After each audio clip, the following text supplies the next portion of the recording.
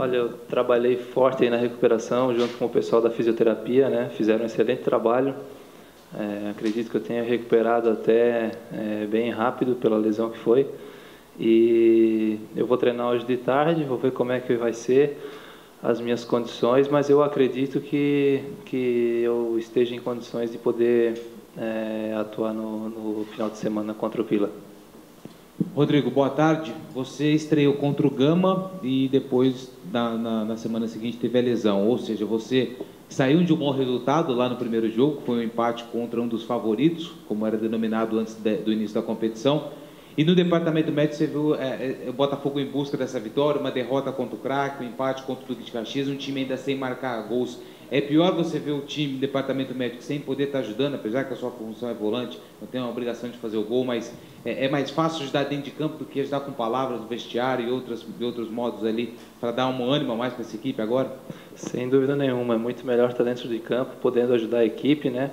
E ficar fora por lesão, acho que nenhum atleta é, gosta de, de, de, ficar e passar por isso, né? Então, com certeza é muito melhor poder estar dentro do campo e ajudando da forma que a gente sabe, da melhor forma que a gente sabe, é, ao time, né? ajudando o time para que ele possa alcançar essa primeira vitória aí. Eu, no meu ponto de vista, o, o Botafogo tem realizado boas partidas, tem ido muito bem nos jogos, está faltando aquele gol, né? A hora que a bola entrar, tenho certeza que as coisas vão melhorar muito para a gente.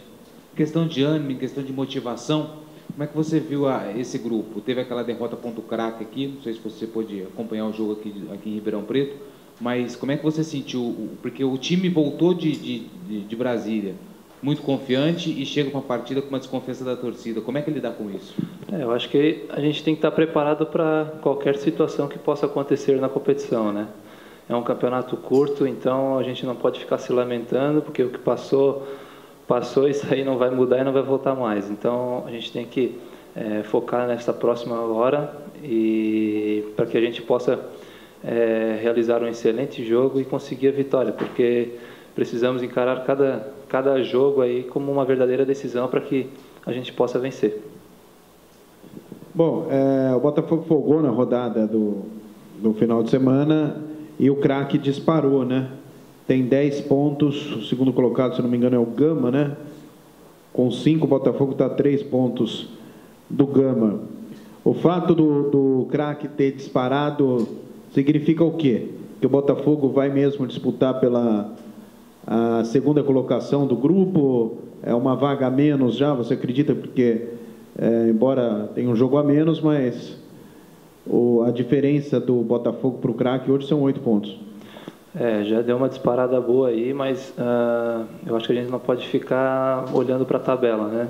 Se preocupando com, com a tabela. A gente tem que se preocupar com o nosso desempenho e nosso resultado dentro de campo. No momento, é, a gente consegue classificar apenas com as nossas forças, então é, é nisso que a gente tem que acreditar e buscar para que a classificação aconteça, independente se for em primeiro ou em segundo, depois é outro campeonato novamente. Então, o importante mesmo é classificar. Ô, Tizen, é, todo o discurso dos jogadores desde a semana passada que folgou, que teve aquele empate que fechou a terceira rodada, é, Rodrigo Tizen, isso. Teve, teve, é, os jogadores vêm com um discurso de pensar em um jogo por vez, não ficar fazendo conta. Pela sua experiência, pelo que você já viveu no futebol, você vê que esse é o caminho? Pensar no próximo jogo e não ficar pensando no que os adversários estão fazendo, no que o Botafogo precisa fazer no, no, último jogo. Exatamente, eu acho que o pensamento correto é esse mesmo, pensar partida a partida, né? E encarar como uma decisão, porque esse campeonato é muito curto, são poucos jogos.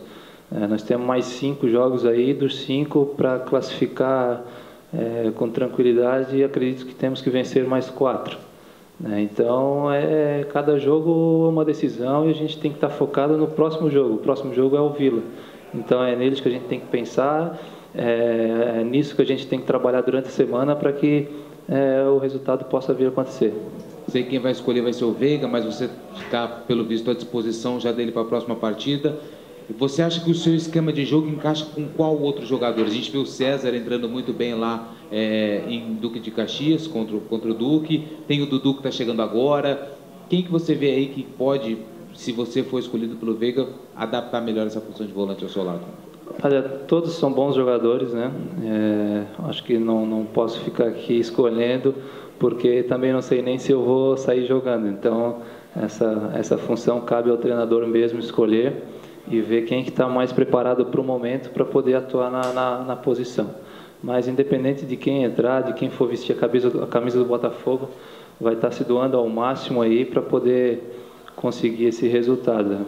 É, exemplo disso é o César, que veio de uma lesão grave aí, ficou um bom tempo fora e foi lá e arrebentou, jogou muito bem, se dedicou e e ajudou da melhor maneira o, o time. Então, acho que o pensamento é esse: é, quem entrar tem que vestir a camisa, sua camisa mesmo, para que possa ajudar o, a equipe da melhor maneira possível. Você ainda não estreou aqui em Ribeirão, até porque machucou. Também tem essa, essa expectativa em jogar aqui em Ribeirão Preto. Lógico que a desconfiança da torcida por fato dos resultados é grande, mas para você, como é que está a sua ansiedade em provavelmente estrear aqui em Ribeirão?